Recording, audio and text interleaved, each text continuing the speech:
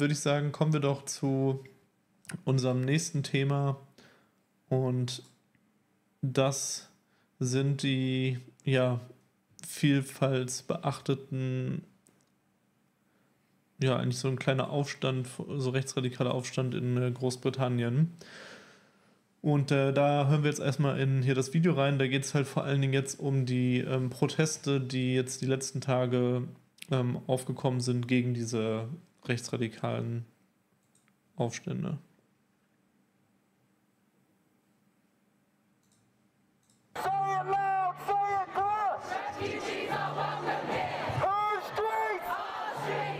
In Großbritannien hat sich eine große Gegenbewegung formiert. Tausende Menschen sind am Mittwoch auf die Straße gegangen, um gegen Rassismus und Faschismus zu demonstrieren. So wie hier in der Hauptstadt London.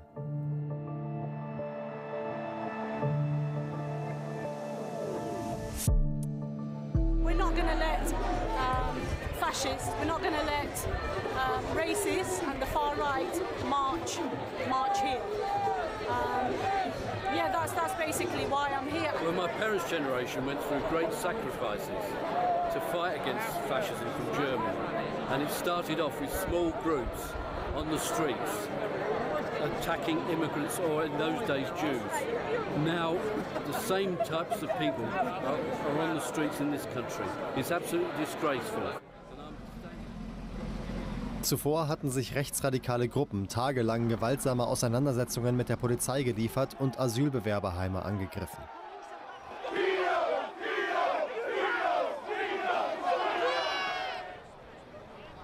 Hintergrund war ein Messerangriff in der Küstenstadt Southport, bei dem am 29. Juli drei Kinder getötet und zehn weitere Menschen verletzt wurden. Im Internet kursierten schnell Falschinformationen, denen zufolge es sich bei dem Angreifer um einen muslimischen Asylbewerber gehandelt habe. Die Polizei erklärte jedoch, dass der mutmaßliche Täter ein 17-Jähriger sei, der in Wales geboren wurde. Britischen Medien zufolge stammen die Eltern des Mannes aus Ruanda. Auch in Liverpool gingen nun Menschen auf die Straße. Die Großstadt liegt rund 30 Kilometer von Southport entfernt.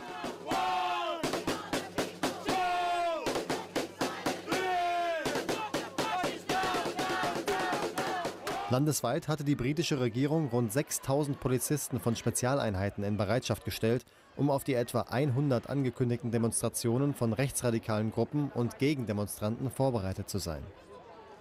Die vielen Menschen, die sich gegen Rassismus stellten, hatten eine klare Botschaft in Richtung der Rechtsextremen.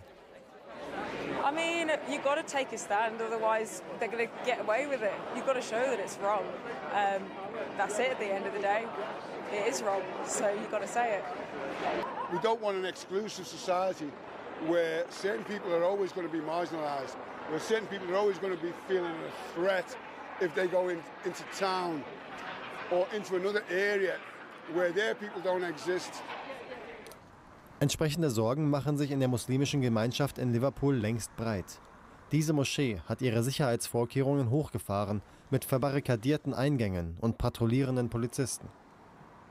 But seeing the events that have just um, taken place in the city of Liverpool, and not just the city of Liverpool, but in the UK as a whole, it's really scary seeing the people um, rioting, looting the shops. Aber die muslimische Gemeinschaft erfährt gerade in diesen Tagen auch viel Unterstützung. We have our neighbours saying, I'll do your shopping. Spoke with a wonderful woman who said, Seba, I'll come, whatever you need, whatever anybody else who's feeling isolated right now needs, we will come and support you because we know. And we know that it's hard for you to go and protest and demonstrate, and it's not safe for you, but we will do that for you.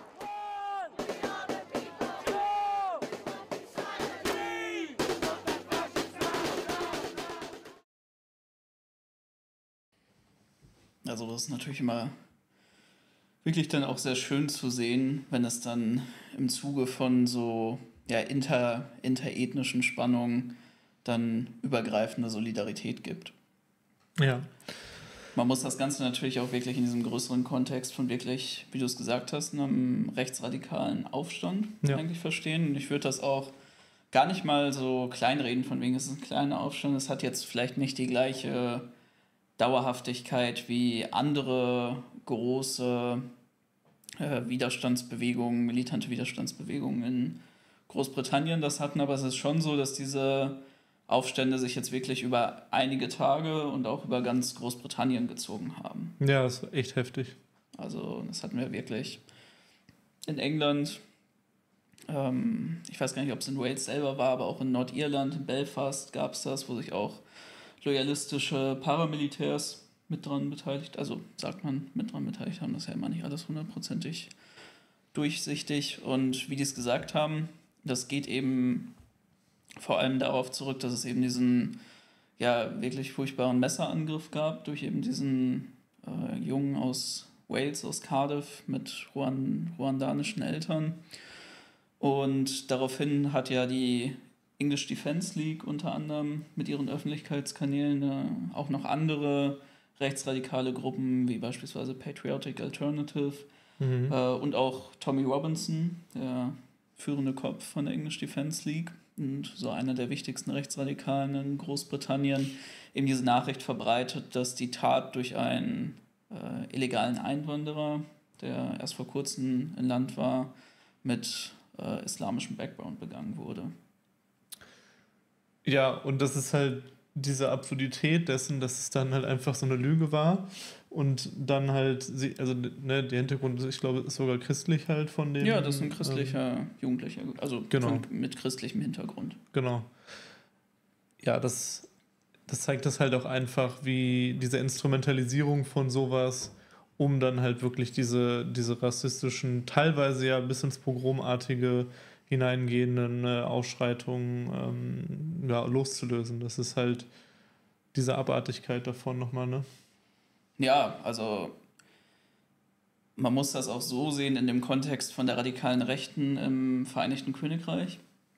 Die ist halt einfach primär islamfeindlich geprägt. Mhm. Also es gab auch andere größere Wellen. Wir hatten ja diese Phase von fremdenfeindlicher Gewalt gegenüber Polen gerade im Zuge von dem äh, Brexit, mhm. dem ganzen Kampf rund um Brexit, da ging es auch sehr, sehr viel um Osteuropäer.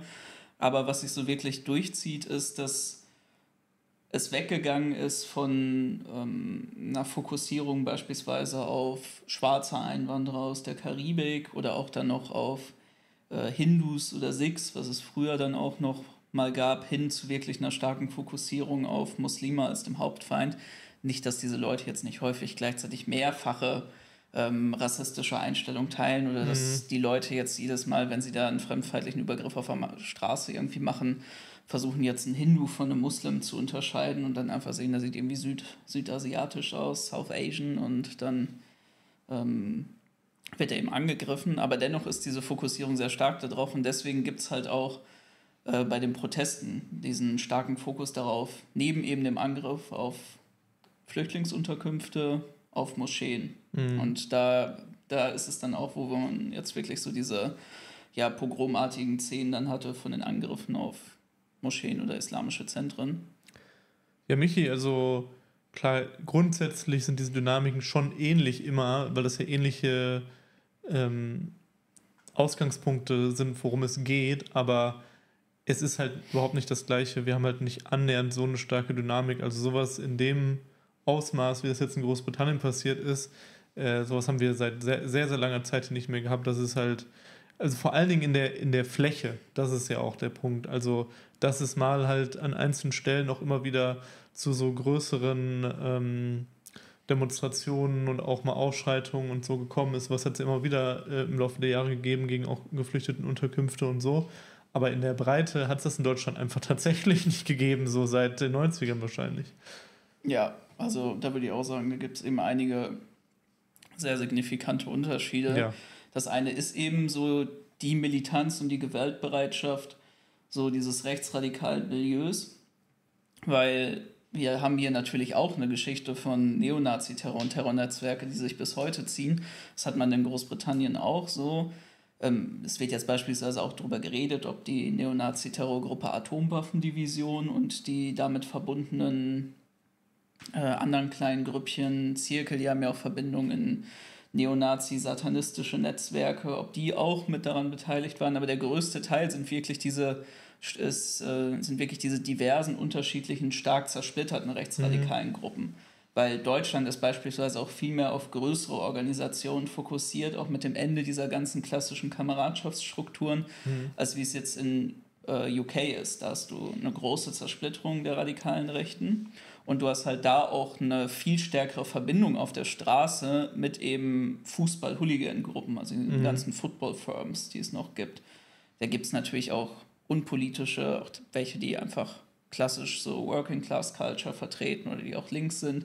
Es gibt auch sehr, sehr viele, äh, die sich dann auch so gerade in den Zehnerjahren an ähm, diesen modernen rechtsradikalen Gruppen angeschlossen haben, mhm. auch wenn es diese Verbindung natürlich früher gab. Das wäre vielleicht so ein bisschen vergleichbar wie mit dem, was wir wirklich ein, kann man fast sagen, einmalig zum Beispiel dann mit ähm, Hogesa-Hooligans gegen Salafisten in Deutschland gesehen haben, wo es einmal wirklich diese großen Ausschreitungen in Köln gab. So muss man sich das da vorstellen, nur dass das bei Protesten eben von dem Militanzniveau viel ja. üblicher ist. Ja, und auf einem völlig, also das, also auch die Ausschreitungen dort waren, auf, waren auch auf einem völlig anderen Level als das, was wir in Deutschland jetzt ähm, da gesehen haben. Also auch bei, bei Hogesa war das halt nicht, nein, nicht vergleichbar. Nicht vergleichbar. Und, und ich denke, was halt vielleicht, also um das teilweise erklären zu können, warum das jetzt in Großbritannien passiert, warum wir vielleicht, wie das äh, Ed Cameron schreibt, vielleicht vier, fünf Jahre hinter diesem Zustand hinterher sind, ist auch, dass es einfach eine so starke, da haben wir auch schon mehrmals jetzt im Podcast drüber geredet in den, in den letzten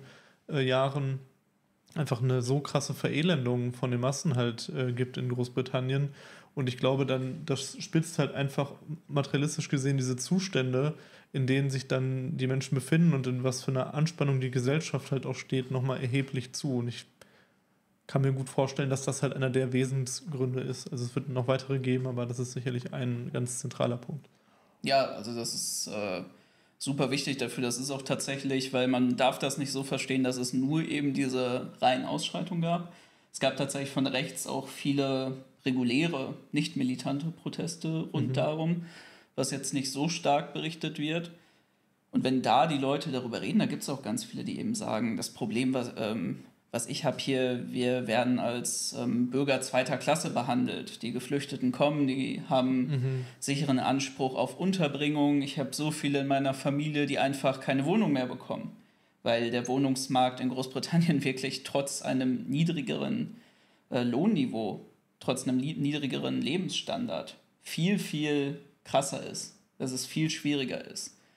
Aber ich glaube, was man halt nicht dabei vergessen darf, und das ist beispielsweise auch was, was jetzt ähm, äh, von linken Medien gar nicht so stark angesprochen wird, es gibt auch rund um eben Kriminalität mit Migration einfach einen viel stärkeren Diskurs in Großbritannien, weil es eben so große Fälle gab, wie beispielsweise ähm, in Birmingham oder in Rotherham, diese Kindesmissbrauchs- und Zwangsprostitutionsringe von eben südasiatischen Migranten. Hm. Primär eben pakistanischer oder Bangla bangladeschisch, nee, oder aus Bangladesch mhm. von der Herkunft her, wo es halt, ich glaube, an die 1000, also über 1000 Fälle ja, gab von Mädchen, die eben aus äh, das ist heftig. ja, so weißen Working-Class-Hintergrund kamen und das ist halt auch was, was sehr, sehr stark so im Bewusstsein der Leute drin ist. Mhm. Und dazu kommt natürlich jetzt auch noch dieser, was es auch in Großbritannien gibt, dieser starke Anstieg von Messergewalt. Mhm. Das ist ja auch was, was in Deutschland viel diskutiert wird, was du auch in beiden Fällen statistisch halt sehen kannst. Und das muss man natürlich auch in dem Kontext sehen. Das ist, ich glaube, aus einer linken Perspektive macht man es sich sehr schnell sehr einfach, wenn man sagt, dass alle Probleme der Leute und interethnische Spannungen einfach nur darauf zurückzuführen sind, ja, wenn alle irgendwie ein Haus hätten und einen guten, sicheren Job, dann wäre es gelöst. Das ist ein sehr wichtiger Faktor dabei, aber ich glaube, dass wirklich diese tatsächlichen Sicherheitsfragen und auch diese Fragen von interethnischen Beziehungen da mitgedacht werden müssen, weil gerade in Großbritannien diese interethnischen Sachen und diese Idee von Organisation in der eigenen Community und starke Begrenzung auf die eigene Community einfach noch eine viel größere Rolle spielen. Mhm. Ja, auf jeden Fall, Michi. Ähm, ist halt nur immer wichtig, dann halt, weil, weil deutsche Linke sehr schnell dazu neigen, halt immer so zu tun, als wäre Deutschland so ähm, der größte Hort äh, von Rassismus und Faschismus. Und äh, hier ist immer alles nochmal 10% schlimmer als sonst im Rest der Welt. Und äh, hier kann man halt ganz gut sehen, dass halt die Qualität dieser rassistischen Ausschreitungen in Deutschland einfach äh, lange Zeit jetzt äh, für, für jetzt Jahrzehnte unerreicht ist. Und dass man das dann schon noch so benennen muss, um diese Qualität zu unterscheiden. Ähm, was ich noch interessant fand jetzt auch, was es in den letzten Tagen jetzt gab, ist, dass es halt auch so, ähm, so eine migrantische Selbst, äh, so eine migrantische Selbstverteidigung äh, mhm. gab. Das haben wir jetzt in dem Video nicht gesehen, aber da das dann halt auch aus den, aus den Vierteln halt äh, sehr große äh, Verbände von, von migrantischen Leuten halt, die sich die Straße genommen haben und ähm, dann halt, nachdem es halt diese, diese Aufrufe wieder von Rechten gab, dann halt dagegen mobilisiert haben, um sich dann dementsprechend halt äh, verteidigen zu können. Mhm. Das fand ich auch sehr, eine sehr interessante Entwicklung, die ich in der Qualität auch selten irgendwo gesehen habe, muss ich sagen. Ja, das ist, glaube ich, auch nochmal wieder das, was so ein bisschen für diesen Community-Aspekt, ich glaube, ja. Kommunitäre, da gibt es tatsächlich recht viel auch äh, Theorie dazu, wo sich dann die britische Regierung selber drauf bezogen hat, mhm. ähm, als so ein Ansatz, um eben in verschiedene Communities reinzuwirken. Mhm. Und das ist da schon recht stark, dass wenn die Leute dann eben dazu aufrufen, äh, hier Jugendliche aus unserer Community, ihr müsst die Moschee schützen, müsst ihr euch da vorstellen, dann folgen halt auch viele dem Ruf. Mhm. Und ähm, äh, da hatte man tatsächlich einige sehr eindrucksvolle Szenen zugehabt und das ist natürlich auch äh, einfach eine gute Sache, wenn die Leute sich dann zusätzlich, ist natürlich traurig, dass das äh, gemacht werden muss, aber es ist natürlich schön, wenn die sich da selber schützen. Es gibt ja auch einfach jetzt eine anhaltende Mobilisierung auch aus der Palästina-Solidarität. Da mhm. sieht man ja auch, dass sich sehr viele Leute darauf beziehen. Ähm, tatsächlich bei dem größten Fall, ich weiß gar nicht mehr, ich meine, das wäre auch in Birmingham gewesen, wo es diesen größten Fall von Selbstverteidigung gab, aber mag man mich jetzt korrigieren. Da gab es dann tatsächlich auch Übergriffe einfach auf so einen äh, weißen englischen Pub. Ja, das habe ich auch halt, gesehen. Mhm. Genau, weil eben gedacht wurde, das sei jemand, der sich an den Ausschreitungen beteiligt hat. Der wurde dann verprügelt, das wurde dann als Video veröffentlicht. War natürlich dann auch großes Futter für die Rechten. Da hat sich dann herausgestellt, dass es wohl nicht so gewesen war. Und tatsächlich war es dann auch so, dass dann die äh, lokalen Imame und Geistlichen sich dann äh, zu dem Pub gegangen sind und sich dann für die Community entschuldigt haben. Ja. Sowas ist natürlich dann auch irgendwo gesehen so ein Vorteil von diesem kommunitären Ansatz, dass man dann auch einfach diese, ähm, Verant dieses Verantwortungsbewusstsein dann einfach für die lokale Community hat und dass es mhm. dann irgendwie das Gefühl von Ansprechpartnern dazu gibt. Aber ich finde es auch nochmal wichtig, bei diesen ganzen Sachen dann festzustellen, wenn es um diese Sicherheitsfragen gibt, geht. Ich glaube, es ist total wichtig, dass man sich auch als radikale Linke diesen Fragen einfach widmen muss, weil das ist einfach eine Sache. Wir werden diese Zunahme von äh, interethnischen Spannungen, auch diese Zunahme von rechtsradikalen und rechten Ausschreitungen und auch einfach eine Stärkung der radikalen Rechten und konservativen Kreisen sehen, weil es einfach mit zunehmender Migration, das ist einfach, das kannst du aneinander linken, das wird einfach auch zu einer Zunahme von ähm, Sicherheitsproblemen und Kriminalität führen. Nur die Sache ist halt, wenn man sich das anschaut, die radikale Rechte hat ja keine guten Antworten darauf. Nee. So, wenn, also sie hat so gesehen Antworten darauf, wenn sie sie implementieren würden, könnten sie vielleicht sogar diese Probleme mit halt gigantischen Kosten für eine Gesellschaft lösen. Aber die Sache ist die, wenn man sich das anschaut, was diese Leute da machen, ist ja wirklich einfach weiterhin Keil zwischen die Leute und zwischen die Communities zu treiben, die ja einfach ein geteiltes Interesse an eben der Verhinderung von diversen Straftaten haben. Und in dem Fall ist es ja auch einfach so, dass das daran aufgeladen wurde, an einem Fall, der eigentlich mit diesen Communities auch und ihren Problemen gar nichts zu tun hat. Mhm. Und wie es bislang scheint, nicht einen politischen Hintergrund oder irgendwas hatte, sondern sehr vermutlich auf ähm, psychische Probleme bei dem Täter mhm. zurückzuführen mhm. ist. Und was auch noch natürlich interessant ist, was man dem dann entgegenhalten kann, ist, dass diese Ausschreitungen ja auch völlig willkürlich sich auch gegen Weiße halt gerichtet haben. Es gab ja auch äh, diverse Plünderungen zum Beispiel von Geschäften, ähm, ne, weil es dann da, weil das einfach ja, dann eine Bibliothek angezündet, ja. glaube ich noch.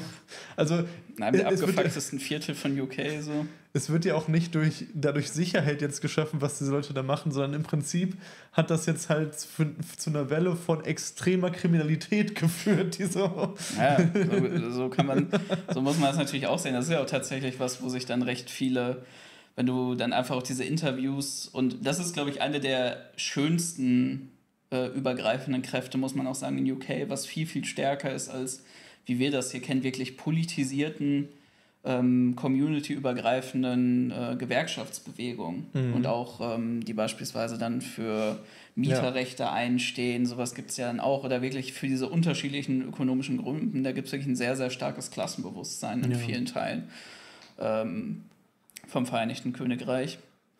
Und äh, da hast du halt wirklich viele Leute, die dann auch so gesagt haben, ey, wollt ihr mich eigentlich verarschen? Ja, äh, ja, wir kümmern uns auch um Sicherheit, aber ihr seid einfach nur hier und ihr zündet irgendwelche Bibliotheken an, greift irgendwelche Leute an und seid, faltet euch wirklich so wie hinterletzten Barbaren. Aber das ist dann vielleicht zum Abschluss das, was uns dann auch Hoffnung machen muss. Ich finde, man sieht es auch bei den Bildern und bei allen diesen Protesten, die man jetzt immer so sieht. Es ist halt nicht wie so oft in Deutschland, wenn Sachen passieren, dass dann halt tatsächlich dass ähm, einfach das Bürgertum auf die Straße gegen rechts geht und überwiegend weiße Menschen auf die Straße gehen gegen rechts, sondern man sieht es halt wirklich bei den Demos. Es ist halt ein, ein ganz bunter Mix Mhm. ähm, von Leuten. Also es repräsentiert halt tatsächlich die breite, breiten Teile der Gesellschaft ähm, von der Diversität her. Und das ist halt was, was uns Hoffnung machen muss, dass einfach unsere Klasse ähm, dann auch in diesem antifaschistischen Kampf ähm, über dann auch diese starke gewerkschaftliche Verankerung und die Community-Verankerung dort nochmal dann halt ja, mehr zusammenfindet, mehr zusammenrückt und das halt zum Anlass nimmt, um ähm, ja, sich da entschlossen gegen zu wehren.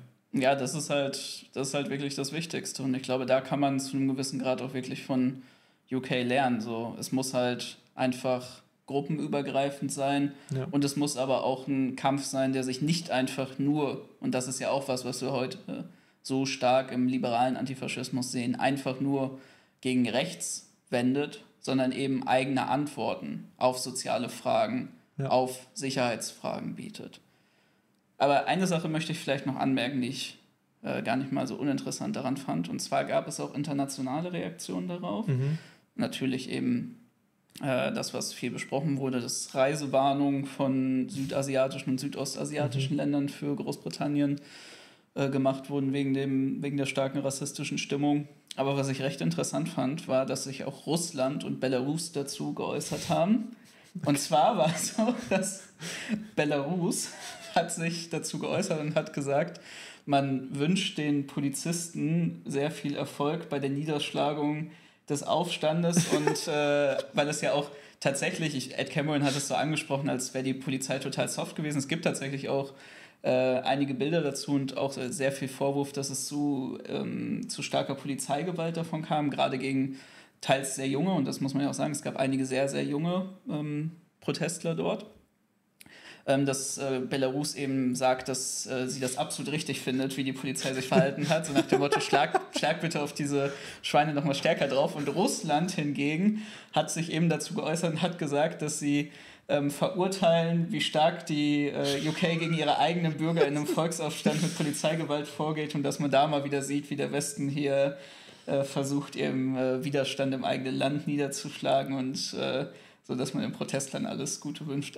Vielleicht könnte man sagen, dass äh, Belarus, obwohl es ja eigentlich immer der, äh, wie sagt man, Satellitenstaat Russlands sein soll, da ein bisschen ausschert, weil man eigene Erfahrungen mit einem Volksaufstand gemacht hat. Es ist, äh, das ist wieder Fand so, ich vielleicht einfach noch eine nette Anekdote zum Schluss. ja, so richtig wieder, wir leben in einer Simulation-Style. Ja. Gut. Ähm, so viel dazu.